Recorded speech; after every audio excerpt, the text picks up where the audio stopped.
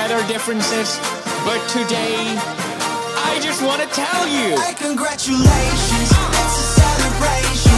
Party all day, I know you've been waiting. Congratulations, it's a celebration. I just wanna tell you that I think that you're amazing. Hey, congratulations to your corporation. Guess you be one Swedish boy, you need a billion Asians.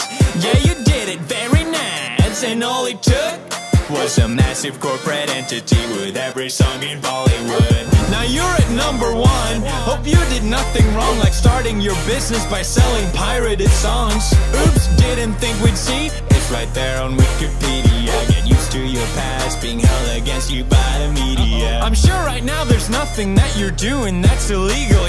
Yeah, I'm certain that you haven't had collusions with the mafia. For legal reasons, that's a joke. For legal reasons, that's a joke. For serious Indian mafia, please don't kill me, that's a joke. India, I'm sorry about the memes, you're the best. I love my Indian bros. From Bombay to Bangladesh. I'll take on all the world for you, I'm a heavy hitter. About to cause a genocide, so you can call me. Hey, congratulations, it's a celebration. Party